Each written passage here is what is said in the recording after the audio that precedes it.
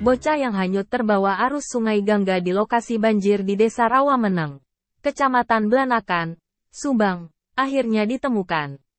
Titik penemuan jaraknya sekitar 4 km dari lokasi kejadian dalam kondisi meninggal dunia.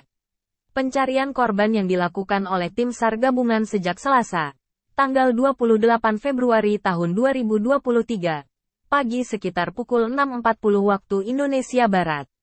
Tim mulai melakukan penyisiran menggunakan LCR dari titik awal tenggelam hingga ke muara Sungai Gangga.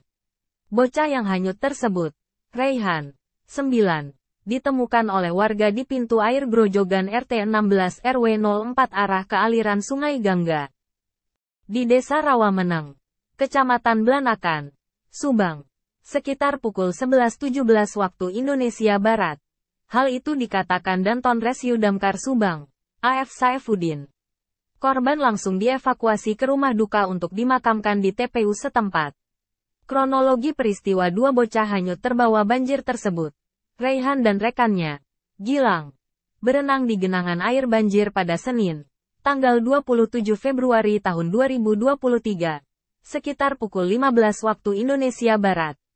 Lokasinya di Desa Rawameneng RT 15, 03 Kecamatan Blanakan keduanya terseret arus setelah terpeleset, namun Gilang berhasil diselamatkan warga.